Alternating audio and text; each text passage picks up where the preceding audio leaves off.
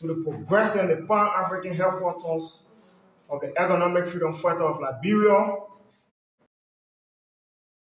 Recognize the chairman of the Economic Freedom Fighter of Liberia, Commissioner Steve Cordoba. Today we have come to speak on behalf of our community, the poor and oppressed people. At this time, permit me, the, permit me to call on this podium the Papa Wataba of the Economic Freedom Forum of Liberia, the most powerful man parading the corridors of the Republic of Liberia. Ladies and gentlemen, the Economic Freedom Forum of Liberia President, the CRC, Emmanuel Gongwe. These are the press. Thank you. Thank you for the the intro and thank you, ladies and gentlemen of the media. Thanks to the national chairperson. Thanks to the vice chair for economic affairs and all members of the Central Revolutionary Council that are here for this press conference. Thanks to the leadership of the DOR for always being in time, doing what they have to do to keep the institution alive. Commandant the Economic Freedom Fighters of Liberia, members of the religious community, members of the diplomatic corps, members of the student community, ladies and gentlemen. We have once again come the politics of our country. We want to inform you,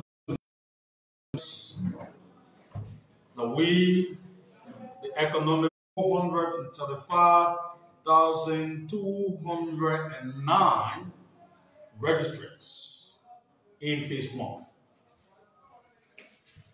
In phase two, the registered 1,300 and some produced only 7,000 people. Members of the press, ladies and gentlemen, fellow citizens, we're back for you to know that even the 3,000 plus people that the National Elections Commission has informed stakeholders of having, that number cannot reduce to the 7,000. Even if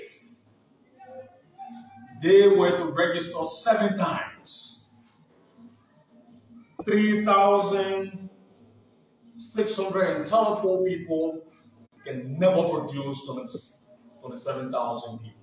Would rather produce 25,000. You can see the inconsistency. And even after deduplicating the list, according to the National Elections Commission, the figure in Montserrado County jumped from 800,000 plus to 900,000 plus. 100,000 additional names, and the figure in Grand Bassa County also increased. The figure in Miami County also increased. The National Elections Commission that should be the most independent, transparent body leading on to the future of our country in the next few days has been very inconsistent with the data they've been releasing. We want to say this clearly. Elections are not rigged on election day.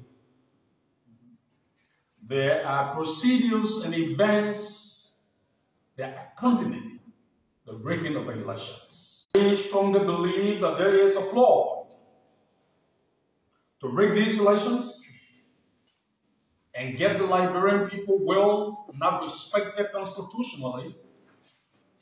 And these flaws are orchestrated through the economic community of West Africa. Once again, we have been forcing that position efforts.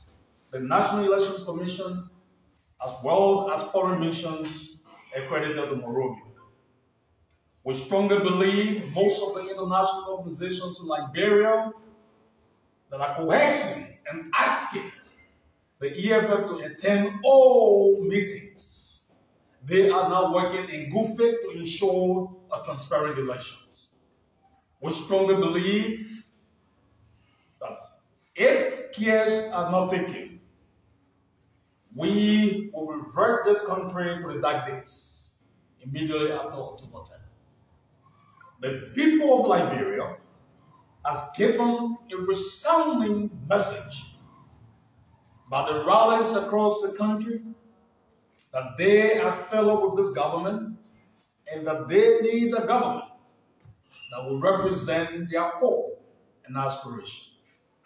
And for these international organizations and efforts to connect with the National Elections Commission to attend to regular elections, but for us, the EFFL, and we want to be very unequivocal once again, that any group of people who will attempt to abuse the will of the people, to the elections, we will go after you. Any, let me repeat, any group of people who will disrespect the will of our people on the ballot box and attempt to rig these elections and put or impose a puppet government on the will of the people, we can assure you we will go after you. We will go after you with, because we have to do this to protect democracy. We can no longer allow colonialism and neocolonialism to survive. The attitude of trying to break elections and impose a government is an act of colonialism. We will not accept that. We want to inform the West that we will not accept that.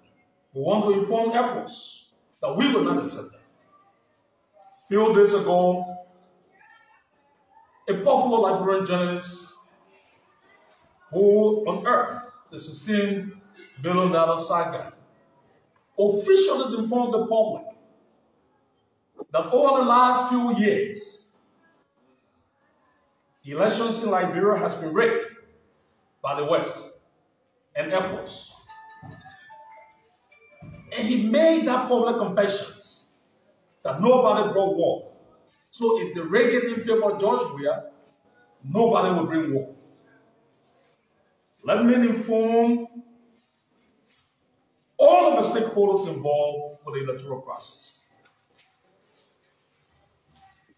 Those days, the West and ECOWAS regulations, and they went with impunity.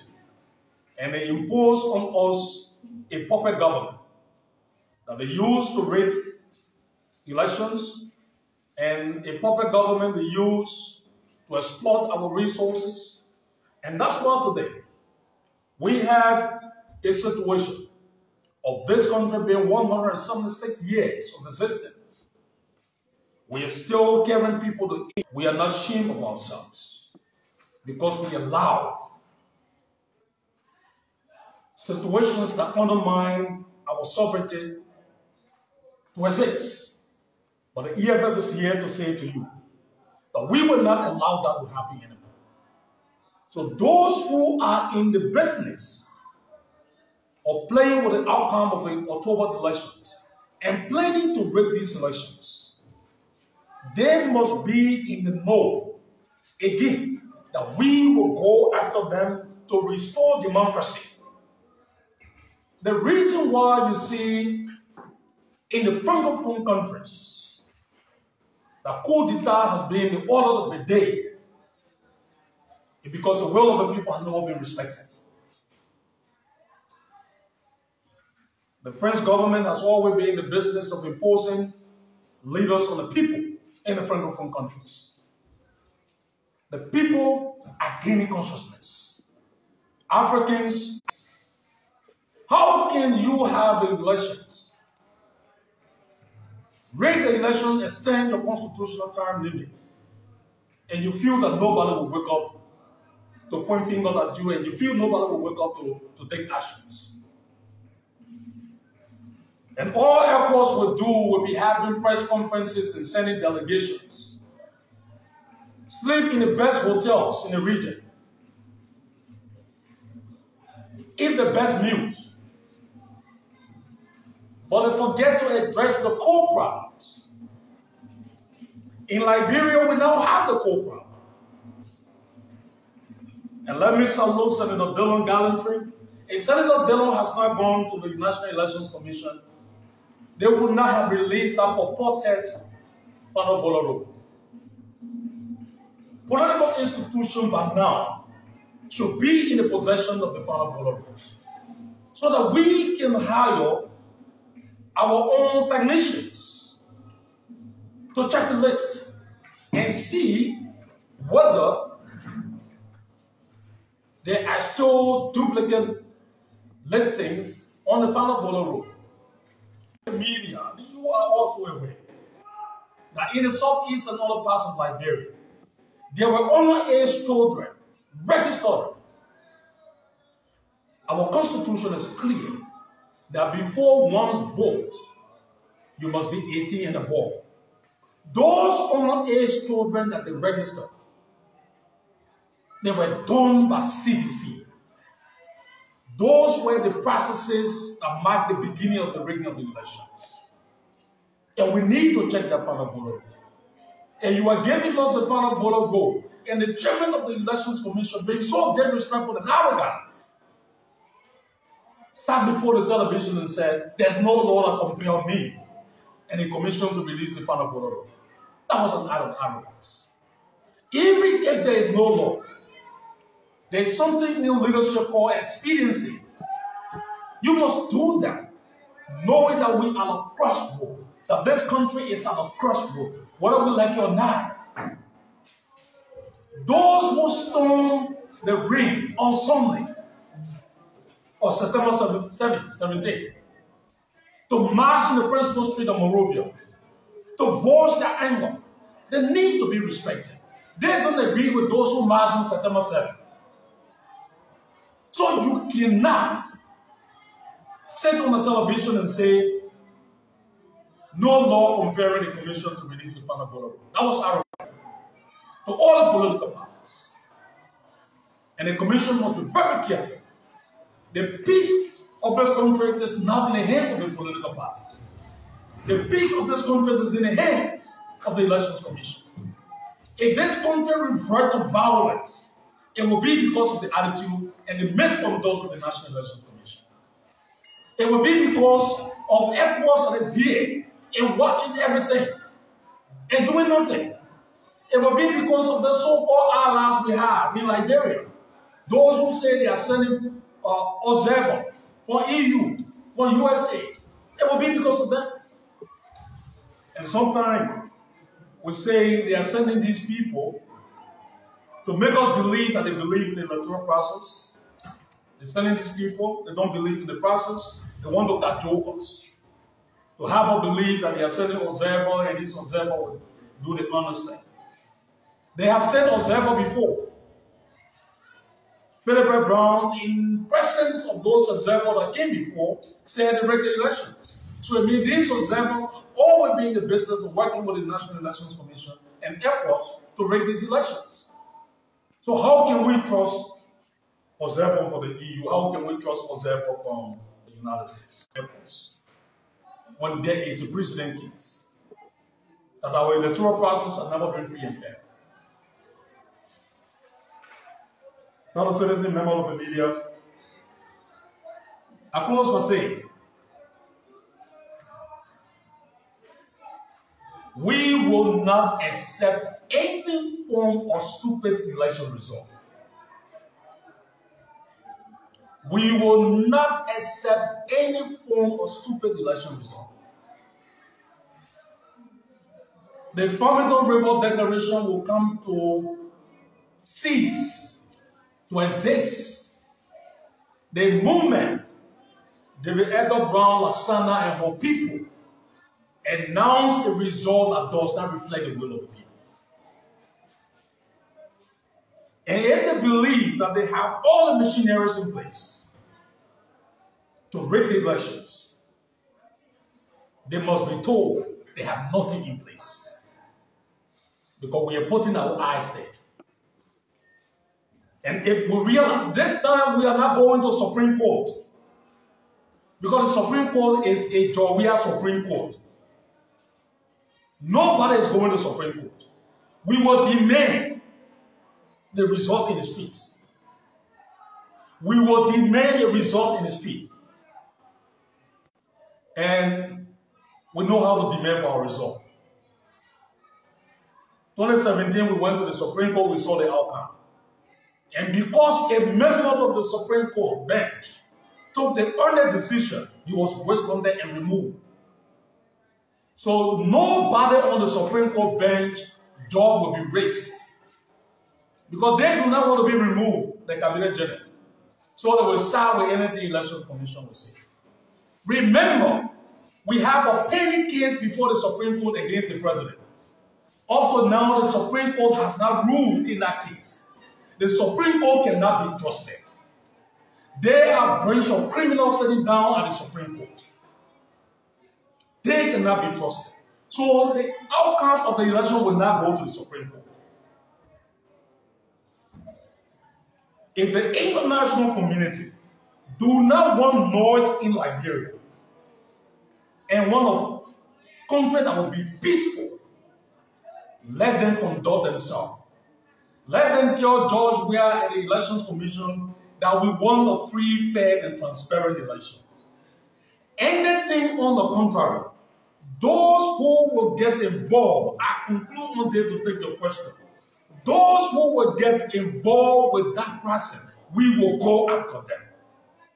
Because they are enemies of the state. We will not allow enemy of Liberia to live here. We will come after you. Because only partners of Liberia should live here. Only friends of Liberia should live here, not enemies of Liberia. I want us to thank you. All right, so thank you. The CRC will take five questions. Call your name. Yeah, Those you reporting for. yeah, yeah. Yes. Yeah, the, my name is Archie Bourne, and I report for Today Liberia Television.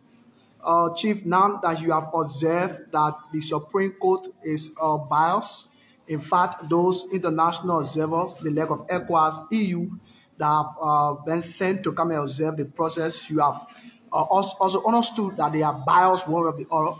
What's the way forward? The way forward is for the Elections Commission to stop all the unscrupulous attitude. Let them begin to be focused and respect all the stakeholders involved in the electoral process and be transparent as possible. And by doing so, we are guaranteed of fair and transparent election. All the data should be in the hands of not to have a duplicate list chairperson of the National Elections Commission that allows the commission to release a final voter roll. Uh, we don't believe that this process will be free and fair. Yes, so thank you. My name is Michael Biden. I report for Sky and Sky TV. I listen to the deliberation. You will talk about the peace we have to definition of uh, stupid election results. Open election result is the one that contradicts the will of the people. That's our democracy. So we'll fight for the democracy we want to protect. Yes, yeah, yes, sir. Um, Agnes uh, in my district. There are information that are spreading in the corridors of government and as well as uh, within the corridors of the Nigerian people. Even the press conference that we are holding today and the statement that very resounding. This information comes that if the ruling party cannot succeed in winning election, we then cause violence to make sure that the army takes. If that happens, what would be the position if, if the army takes When contradictions occur, the people rely on their soldier to act. So if the government execute any form of contradictions, and the army takes over, we support the army. We we are not cowards, and the army represents the people. The army is not uh, the police. It's not any paramilitary structure of the country. You are one of the renowned journalists in the Republic, and you are saying that there is this know, romance in the corridors of government. The larger point and a report for Fortune TV. Uh, the here that you are known all the time, uh, always uh, keep. I remember you take the government court. So this time around, come. We support contradictions are removed in order for us to have a victory that we can celebrate. It's a democracy. My attention has been drawn to the issue of uh, the EFFL support is when mission is pronounced winner. It's what I was wondering. What's your stand on this? People are resolved, and you, the journalist, you saw that. And you are seeing it across the country. For us a statement and enable you to carry into the communities and serve our people. Thank you very much. Thank you. So, those So, folks, thank you so much for watching. This is how we come to Korea date on this live broadcast.